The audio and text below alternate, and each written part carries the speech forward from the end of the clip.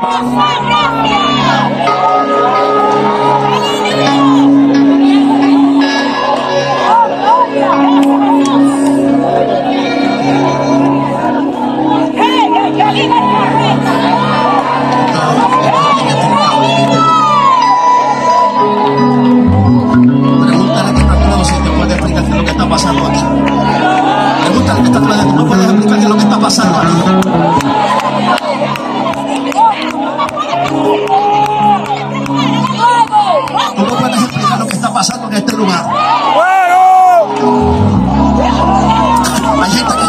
No te lo puedo explicar, tú tienes que sentirlo. Tú tienes que tener tu propia experiencia. Esto no se puede explicar, esto tiene que tener una, su propia experiencia. ¡Gloria! Inexplicable. Es inexplicable lo que está sucediendo aquí. A veces, a veces yo me preguntaba, yo soy el pastor de Andy, el boricua, blanquito, calvito. Y a veces yo veía a Andy que llegaba allá a Orlando y le decía a la iglesia, alaben a Dios, glorifiquen a Dios. Y le decía, pero es que los hermanos están alabando y están adorando a Dios, yo no entiendo. Y es que cuando tú te metes en un revuelo de esto,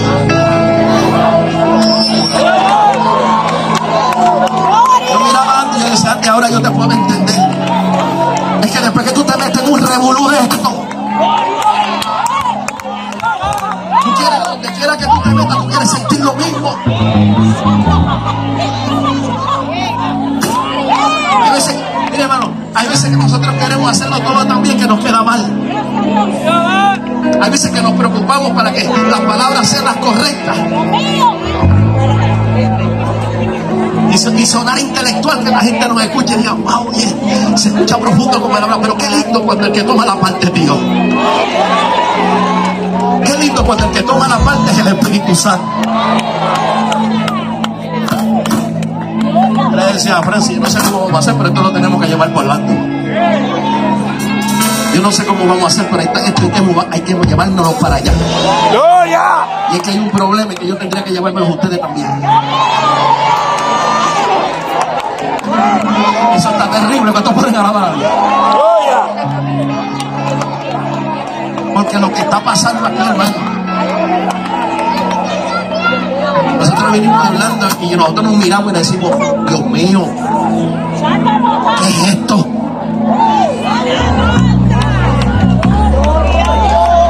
Comieron del pan? ¿Cuántos comieron del pan? Gloria. Esto es una gloria, hermano. Me la llevo conmigo para Florida. Me la llevo. ¿Sabes para que Señor me dijo, te traje para que descanses y para llenarte. Te traje para que descanses y para llenarte. Hay mucho trabajo que hacer allá en Florida. Y yo le voy a decir a ustedes, le voy a decir un secreto.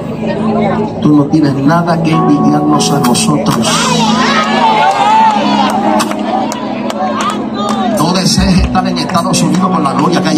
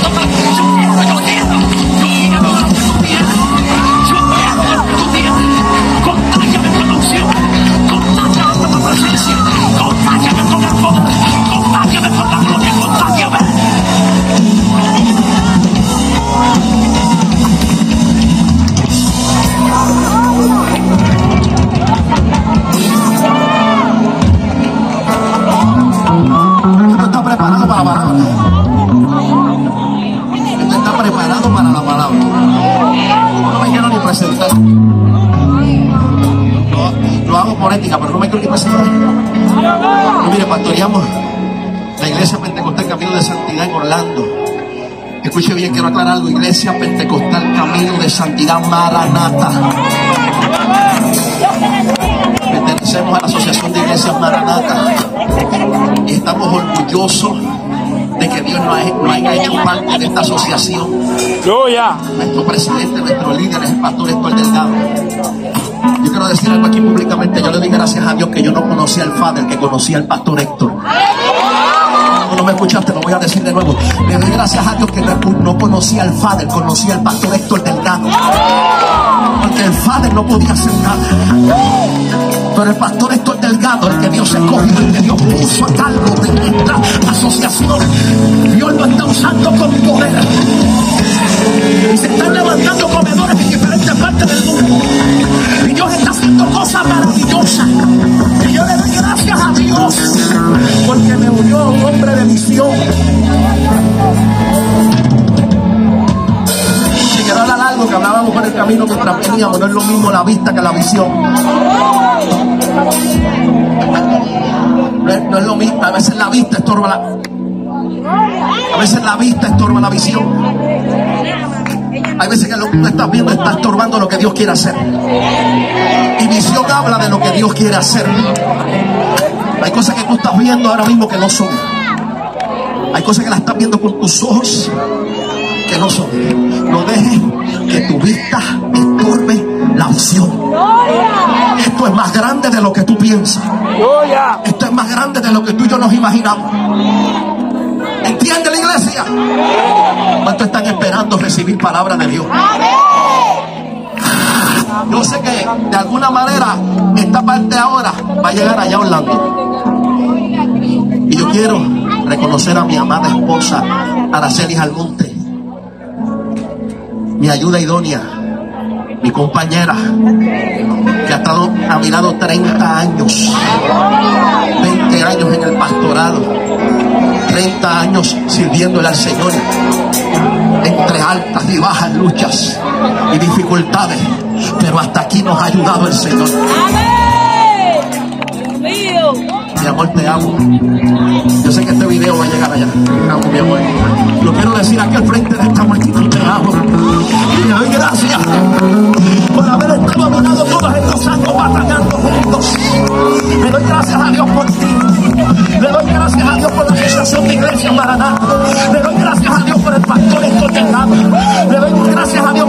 Junta por nuestro secretario, el pastor José López, amada familia. Y cada uno de los que componen esta asociación, yo le doy gracias a Dios. Y yo veo algo bien grande. Que mi vista no lo puede estorbar porque es una visión que Dios me ha dado. Usted sabe lo que yo le oraba a Dios, todo lo sabe nadie, solamente Dios. Lo que yo voy a hablar desde este altar. Yo estoy viendo la necesidad que hay en este país y en muchas partes del mundo. Y yo le oraba a Dios y le decía, Señor, si tú me das, escuche esto y voy a mencionar la cantidad que yo le dije al Señor. Si tú me das un millón de dólares.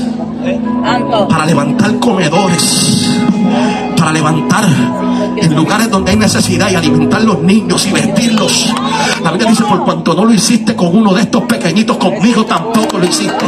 Yo le dije, Señor, si tú me bendices, tú conoces mi corazón. A mí no me interesa el dinero, a mí no me interesa la fama, a mí no me interesa nada de esta tierra. Yo lo que quiero es agradarte, yo lo que quiero es adorarte, yo lo que quiero es servirte, hacer tu voluntad.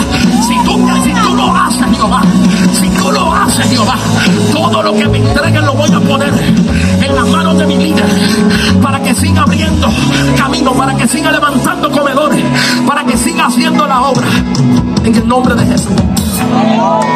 ¿Cuántos me van a ayudar a orar por eso? Yo le creo a Dios. Él es dueño El oro y la del plata. oro y la plata. Y conforme a sus riquezas en gloria, Él va a subir todas nuestras necesidades. Escuche bien, necesidades, no antojos. Necesidades, no deseos. La voluntad de Dios. Ahora yo hago una pregunta aquí. ¿Cuántos están esperando palabra de Dios? Creo que aquí se puede hacer un poco más de ruido de eso. Voy a hablar con los que, con los que tienen hambre. ¿Cuántos tienen hambre de escuchar palabra de Dios? Vamos pidiendo a nuestro líder, el pastor Héctor Delgado, que vaya pasando. Y usted, dile que está